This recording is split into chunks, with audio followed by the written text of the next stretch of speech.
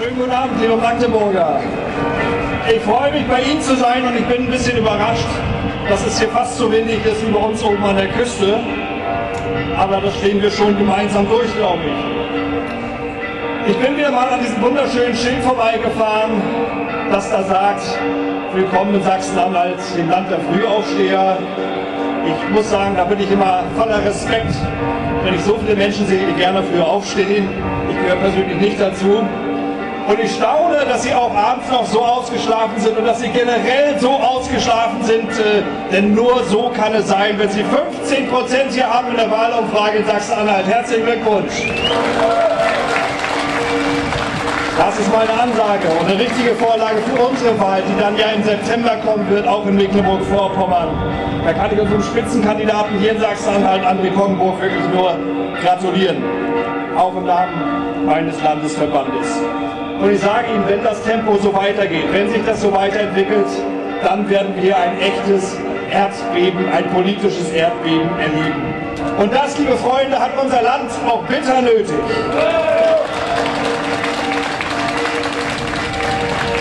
Es wird das entscheidende Signal nach Berlin sein, dass wir Bürger uns nicht länger von einer abgehobenen Politikerkaste Richtung Abgrund treiben lassen. Wir machen Merkels Irrsinn nicht länger mit. Wir wehren uns. Wir wehren uns gegen den schneidenden Verfall von Rechtsstaatlichkeit und Demokratie. Wir stehen auf gegen den Ausverkauf unseres Landes, unseres Wohlstandes, unserer Kultur. Die Eurokrise, die planlose Energiewende, das einseitige Russland-Bashing, jetzt die unkontrollierte Massenzuwanderung. Merkel, Seehofer und Gabriel agieren gegen das eigene Volk. Es wird höchste Zeit, dass wir gemeinsam gegen diese inländerfeindliche Politik antreten. Und wir sind ja schon dabei. Reden wir über die Asylkrise.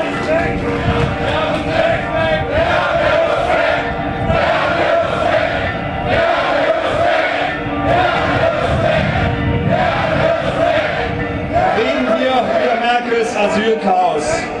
1,1 Millionen Migranten kamen im Jahr 2015, dazu Hunderttausende und ungezählte Unregistrierte. 2016 rechnet die EU mit weiteren 3 Millionen. Wir können aber noch froh sein, dass sich diese 3 Millionen auf ganz Europa verteilen. Also auf die Länder, die mitmachen. Polen zum Beispiel. Tatsächlich, die Polen machen jetzt mit. Die nehmen jetzt auch Migranten auf. 400 allerdings nicht täglich, sondern in diesem Jahr. Und ähnlich sieht es überall aus. Kein Wunder. Warum, denkt man aus der Sicht dieser Länder, sollen wir denn ausbaden, was die Merkel angerichtet hat? Aber Frau Merkel klammert sich weiter hilflos an eine europäische Lösung. Träumen Sie gerne weiter, Frau Bundeskanzler, aber träumen Sie bitte zu Hause weiter.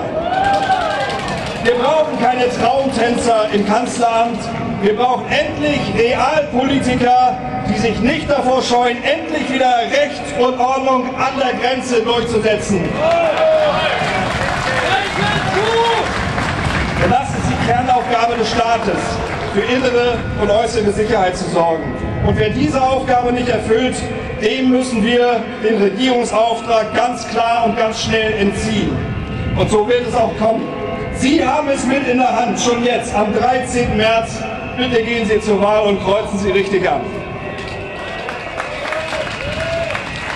Natürlich wäre es besser, wenn unsere EU-Außengrenzen geschützt würden, so wie es in Schengen vereinbart war. Aber das ist ja nun seit geraumer Zeit nicht mehr der Fall. Es kann also nur eine Lösung geben, wenn wir als Staat überleben wollen. Wir müssen jetzt unsere nationalen Grenzen schützen. Und schauen Sie sich um, andere tun es schon längst. Die Ungarn waren die Ersten. Sie haben einen Zaun gebaut, um ihr Land vor illegalen Grenzübertritten zu schützen. Damit, hier alles weg, damit hat Viktor Orban seinem Land die größten Probleme erspart. Der Mann hat im Interesse seines Volkes und im Rahmen des geltenden Gerecht, des Rechts gehandelt.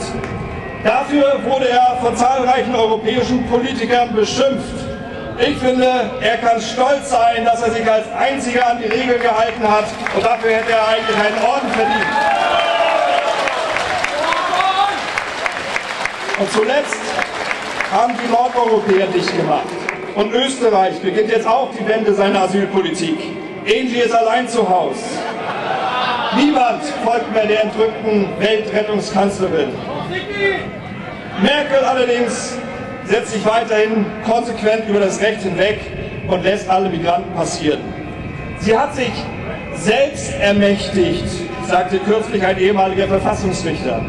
Er sprach auch von einer selbstherrlichen Kanzlerdemokratie. Andere ehemalige Verfassungsrichter haben sich ähnlich geäußert.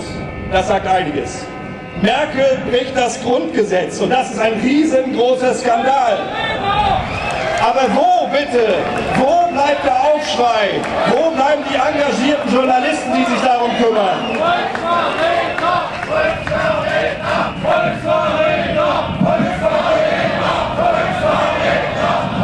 Niemand, niemand begehrt wirklich auf gegen die Rechtsbrüche Merkels. Sie hören es höchstens mal ganz, ganz leise im Hintergrund, eine ohrenbezeugende Stimme.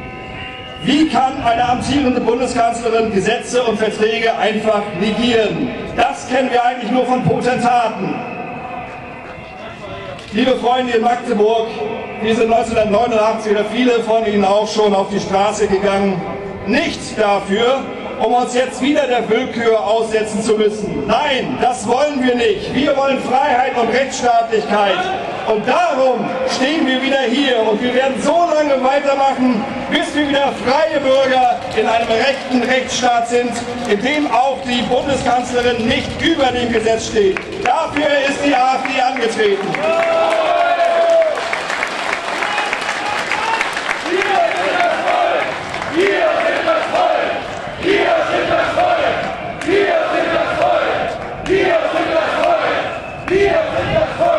Wir, was wir im Moment erleben, das ist ein Bevölkerungsaustausch, man kann es nicht anders sagen. Ich möchte das mit drastischen Zahlen verdeutlichen. 2015 und 2016 zusammen sind am Ende vielleicht 4 Milliarden, 4 Milliarden noch nicht, aber 4 Millionen Migranten durch die unkontrollierte Massenzuwanderung zu uns gekommen. Merkel argumentiert ja 4 Millionen bei 80 Millionen Einwohnern, das ist ja nun gar nicht so viel, das verteilt sich. Allerdings ist das eine Milchmädchenrechnung. Nehmen wir nur an, und das ist positiv gerechnet, dass von diesen 4 Millionen etwa 2,5 Millionen langfristig bleiben und über den Familiennachzug drei Personen pro Migrant nachkommen, dann wären dies insgesamt schon 10 Millionen Menschen, davon die allermeisten im Alter von 20 bis 35 Jahren. Und das ist der entscheidende Punkt. Diesen 10 Millionen stehen heute etwa 12 Millionen Deutschstämmige in der gleichen Altersgruppe gegenüber. Das bedeutet, auch alle darauffolgenden Generationen hätten bereits zur Hälfte einen Migrationshintergrund und damit zu einem großen Teil eine völlig andere Religion und Kultur. Frau Merkel, nehmen Sie bitte endlich zur Kenntnis, dass das deutsche Volk mit der Aufnahme von Millionen Migranten Jahr für Jahr deutlich überfordert ist. Wir können das nicht schaffen und wir wollen das nicht schaffen. Denn uns ist eines sehr wichtig. Wir wollen die Identität unseres Landes erhalten. Deutschland soll auch für unsere Kinder und Enkelkinder das Land der Deutschen bleiben.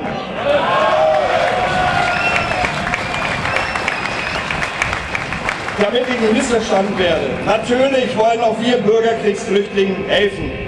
Aber das geht nur bis zu einer Obergrenze hier bei uns in Deutschland. Und diese ist für die nächsten Jahre längst erreicht.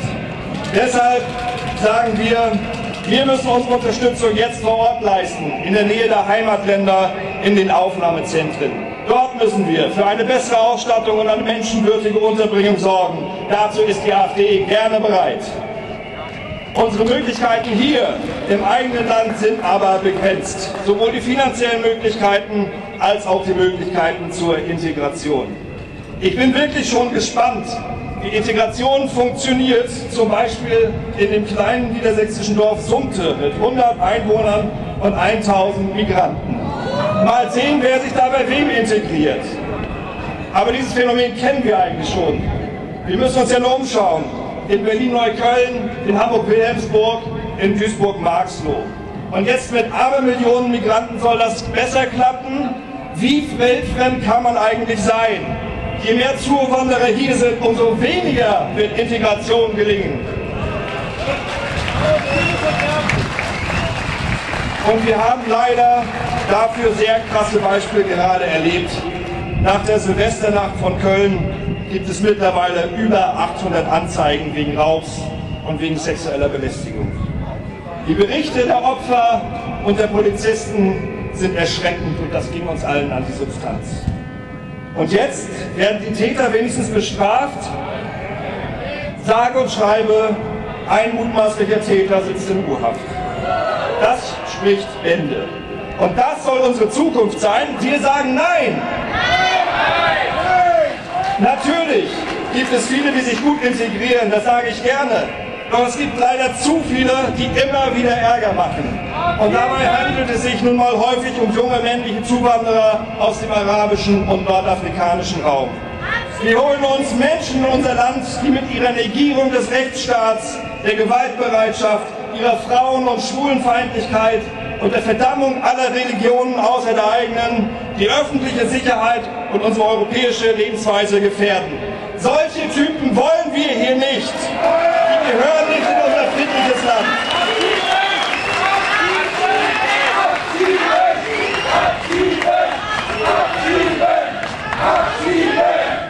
Genau, das ist auch die Idee von Frau Merkel. Dieses Stöckchen hält sie uns jetzt hin. Das Abschieberecht soll verschärft werden und man kann tatsächlich natürlich drüber reden. Aber das allein kann die Probleme nicht lösen. Es ist im Moment, wie die Lage ist, eine Placebo-Pille. Denn wen will Merkel abschieben, wenn keiner oder kaum einer der Peiniger von Köln überführt und verurteilt wird? Und wenn doch einer erwischt werden sollte, bekommt er dann wirklich eine so hohe Haftstrafe, dass er abgeschoben werden kann? Am Ende muss er bei unseren Richtern vielleicht doch nur ein Wochenende Sozialarbeit leisten. Aber falls es dann doch zu einer hohen Haftstrafe reichen sollte, kann er am Ende gar nicht abgeschoben, weil er im Heimatland verfolgt wird oder weil er keinen Pass mehr hat. Sie sehen, das alles reicht nicht. Entweder machen wir es richtig oder gar nicht. Und deswegen fordere ich drei wichtige Punkte.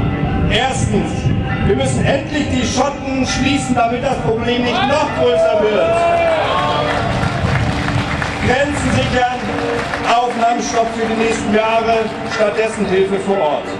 Zweitens, einen Teil der Mittel, die wir dadurch einsparen, setzen wir für die deutliche Verstärkung von Bundes- und Landespolizei ein. Die brauchen das dringend. Und dann ändern wir drittens das Abschieberecht so, dass jeder, der zu einer Freiheitsstrafe verurteilt wird, auch auf Bewährung rigoros abgeschoben wird.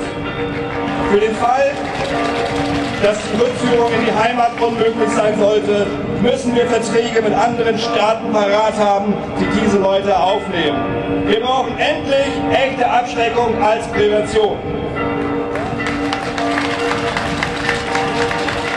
Liebe Magdeburger, es gibt unheimlich viel zu tun für uns.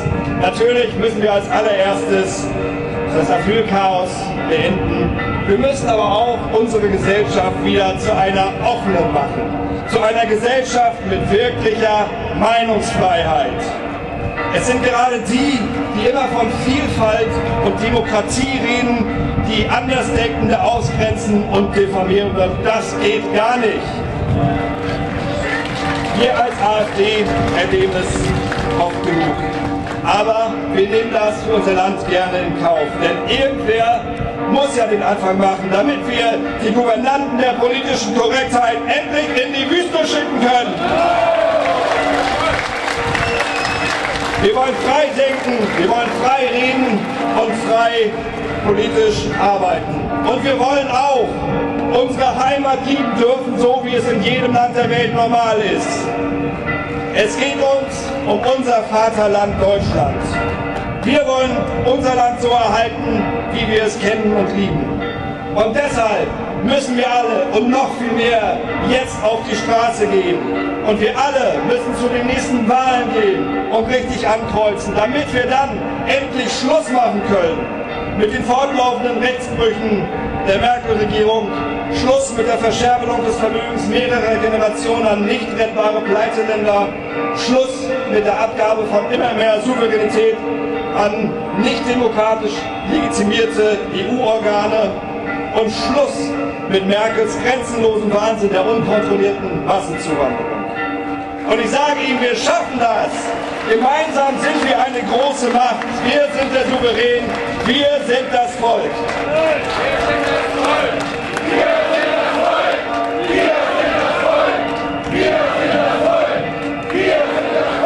Und wir hier in Magdeburg und im ganzen Osten wissen, wir haben das schon einmal geschafft. Wir haben schon einmal eine friedliche Wende in Gang gesetzt. Ja, wir schaffen das nochmal. Ja, warum denn nicht?